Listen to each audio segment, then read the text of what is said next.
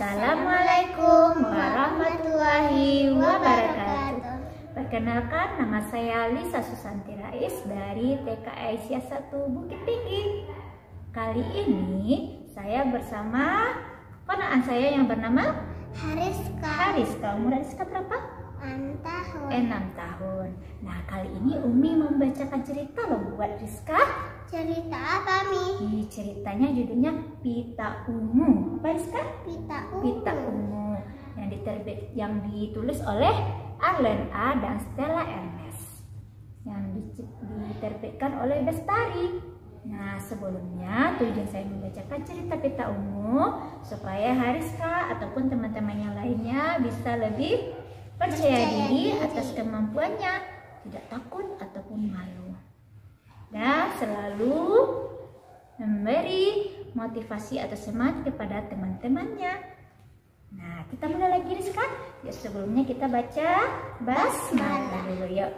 Bismillahirrahmanirrahim. Dengan nama Allah yang Maha Pengasih lagi Maha Penyayang. Amin. Ya kita mulai. Pakai aku, teriak semua pita lainnya setiap kali anak perempuan itu membuka kotak. Tetapi pita ungu hanya menggulung dirinya dan mencoba untuk tidak terlihat.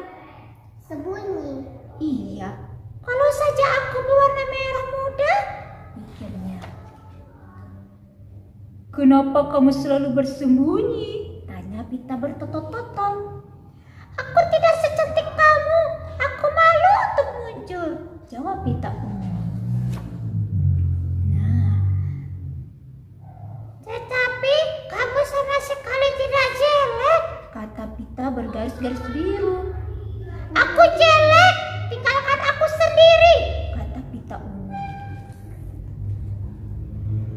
Pita-pita yang lain membuat rencana. Suatu hari, Pita ungu sedang tidur. Deh, Kak. Semua pita yang lain menyusup di bawahnya supaya pita ungu terangkat ke permukaan. Ketika si anak perempuan membuka kotak, ia melihat pita ungu itu. Ia mengambilnya. Pita ungu terbangun dan kaget. Pita unguku, sudah lama sekali aku tidak melihatmu, kata si anak perempuan tadi. Lihat bu, aku menemukan pita unguku, kata si anak perempuan pada ibunya. Nah, kali ini itu dulu cerita Umi ya Ika ya. Ya Nah, coba Ika ada yang Ika tanyakan kepada Umi? Tidak. Nah, dari cerita Umi tadi, bagaimana cerita ungunya ya? Malu Malu terus? Mandokkan dirinya Oh, mandokkan diri sembunyi ya. Sembunyi Rizka ya. Terus ngapain lagi dia? Hmm, Dia tidak mau keluar Gak mau keluar dulu Lalu dia mengambok mengamuk. Dia terus aja dia sembunyi. Kita kita. Garis biru Mhm. katanya Tetapi kamu sama sekali tidak jelek Hmm. Terus? Terus pita-pita yang lain punya rencana Apa rencananya? Hmm, pada suatu hari pita ungu tidur, Lalu pita lain punya rencana hmm, diapakannya apa rencananya ya?